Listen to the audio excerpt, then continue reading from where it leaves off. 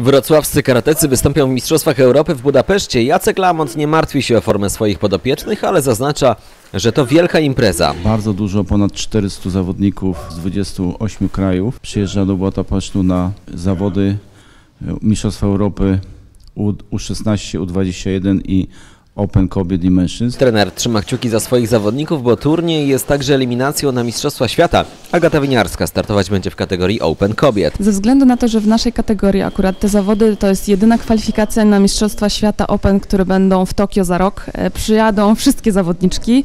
Mamy w kategorii 36 osób, gdzie są medalistki Mistrzostw Świata, Mistrzostw Europy, e, zawodniczki naprawdę bardzo dobre z każdego kraju, więc bardzo trudno nam będzie ocenić, z kim możemy się zmierzyć. Nad czym ostatnio zawodniczki pracowały? To skupiliśmy się teraz na ostatnich momentach walki, żeby jeszcze bardziej przyspieszyć tempo, więc nad tym się skupialiśmy. Ja także zwróciłam uwagę na to, żeby e, włączyć więcej technik nożnych na strefę Jordan, czyli na głowę i żeby więcej chodzić na nogach w czasie walki, żeby ta walka była faktycznie taka bardziej świeża, dynamiczna. Anna Bojda także będzie walczyć w tej grupie, również zwraca uwagę na mocną czołówkę, ale nie boi się konkurencji. Mniej więcej wiemy, e, jak walczą, co jest ich dobrą cechą, co jest ich złą cechą, więc mniej, mniej więcej wiemy, jak się zachowywać na, wal- na macie. Wrocławskich zawodników będą także wspierać karatecy z Kobierzyc. Z Kobierzyc startują również zawodnicy, startuje Marcel Kopi, startuje e, Piotr Korłup i Jakub Flis. Są to bardzo dobrzy zawodnicy i myślę, że też będą sięgać po te najwyższe laury. W kategorii U21 powalczy również Adam Fabian. Starałem się właśnie poprawić te rzeczy, które w mojej kategorii ze względu na to, że mam niższych zawodników,